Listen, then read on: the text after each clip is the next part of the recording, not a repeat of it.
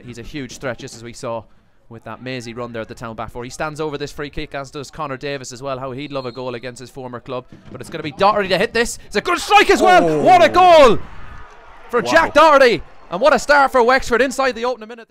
Still learning that role, of course. He is more naturally a number 10 he's spoken about. The difference is, and he's Oh, in oh, here, that is- Burden. He's nodded it down for Malloy, but it's cleared away Oh. by Lorcan Fitzgerald. Will be a throw into Longford. It was a lovely ball initially. I think it was by Shane Elworthy actually. into the Wexford half. Good ball down the line to Carl Chambers. Can he get some end product here? He's surely drawn a free kick. Linesman was slow to uh, raise the flag, but the referee, Kevin O'Sullivan, he was on the ball and he does blow his whistle and indicate a free kick to Longford Town. Yeah, nice play by Carl Chambers. Nice little quick change of direction. Causes a bit. Friel, nice ball around the corner. He gets it back now. Here's Groom. Groom into Doherty. Lovely one touch Oh. football. Groom carries it into the penalty area. He cuts inside. Will he get a shot away? He will, and he Oh. should have scored. Wow. Well, that would have been, I think, one of accurate.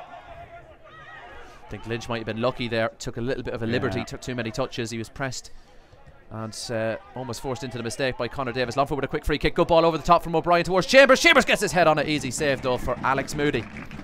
Yeah, very decent ball. We'll see what they do here. Three in the wall for Wexford. That's what Alex Moody's decided on here.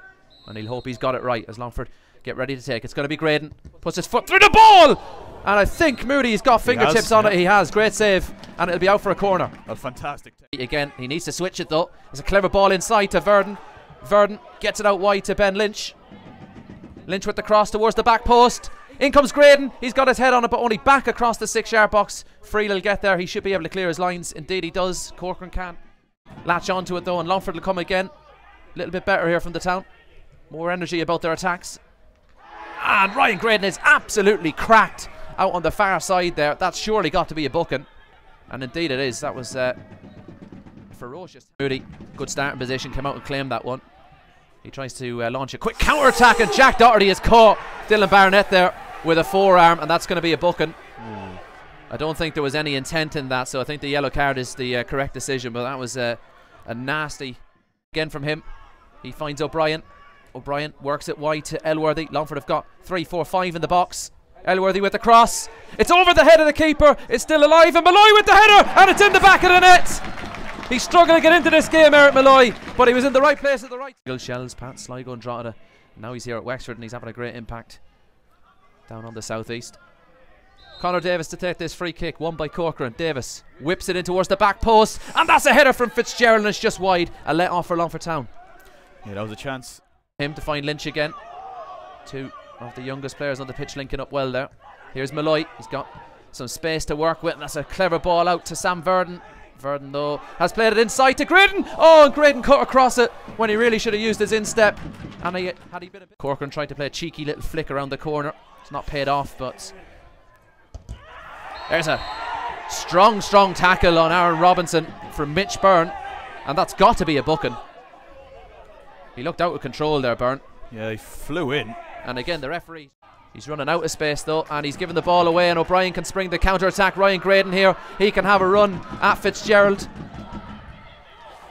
And he almost got by Fitzgerald, but uh, Fitzgerald just got enough on the ball. It broke the way of one of his central defensive partners, and that ball.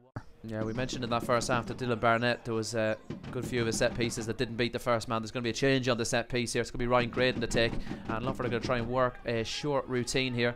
Graydon plays a 1 2 with Chambers. Graydon with a curling shot on goal, but that floats out over the crossbar for a goal. Doherty tried to flick it back to Corcoran. It's cleared away by the town. Graydon, ball over the top now for Eric Malloy. Malloy's going to get there first. He needs support though. Cross towards Graydon. Oh, and it's just wide. Moody has to be quick with his feet here, and he certainly is.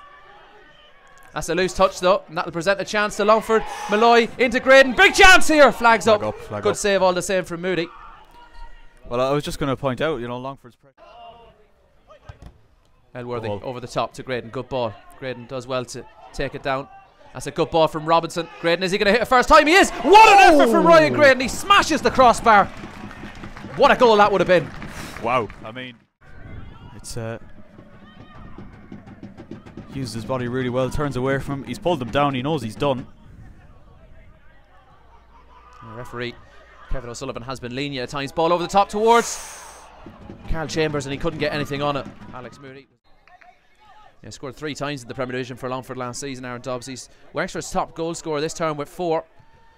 And here's a chance for Wexford. Now Connor Barry goes down under a tackle. Referee says play on. Doherty with the shot. It's blocked by Barnett. And Dunn going to try and add some composure to the town back force. He all over the top towards Doherty. Barnett heads it away. It'll come back to Barry again. Falls over the ball, but uh, it breaks his way once again. Ball into Dobbs. Doherty lays it towards Dobbs, and Dobbs was just about to draw his left foot on that one, but all the way from right back came Shane Elworthy to cover the win, and he's created a little bit of space for himself. Good ball into Verdon. He's got his back to goal, but he's managed to turn. He strikes it off the left. That's a brilliant block. Header back in towards Power. Power beaten in the air. And Friel will eventually get that away. Didn't see who made that block for Wexford, but it was absolutely. Drives in towards the corner, gets the cross in, cleared away by Fitzgerald. Chambers was just waiting for that one to arrive, and uh, unfortunately, all that arrived was Aaron Dobbs. That's a crunching tackle from Chambers on Dobbs, though. I think he was a little bit annoyed with himself there, Chambers. We're going to try and worry the Wexford goal as they break forward, and that's a really, really over the top tackle, and it's a straight red card for Fitzgerald, and I don't think he can argue with that at all. He's gone recklessly over the top of the ball, and uh, he's caught the Longford Town player. Jack Doherty, he's the only one not in the penalty area here in a pink shirt. Barnett to take. Whips it in, lovely flat delivery. Oh, it. diving header. It's in the back of the net, and Longford Town have surely found a late winner at Bishopsgate.